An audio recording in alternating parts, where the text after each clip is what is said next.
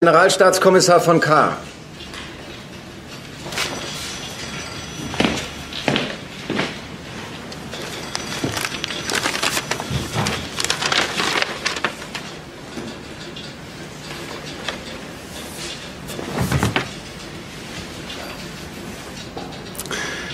Sie bitten mich, meine öffentlichen Auftritte abzusagen. Das heißt, Sie ordnen es an.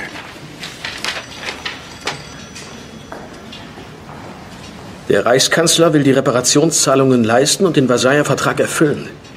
Man rechnet damit, dass es zu Ausschreitungen kommen wird. Von K. hat den Ausnahmezustand ausgerufen und sich selbst die Leitung übertragen. Er fürchtet, wenn Hitler spricht, würde das zusätzliche Unruhe stiften. Zusätzliche Unruhe stiften? Zusätzliche Unruhe stiften?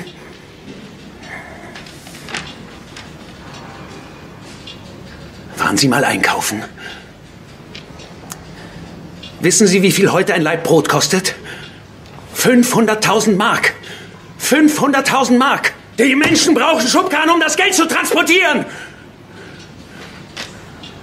Und er befürchtet, ich würde Unruhe stiften.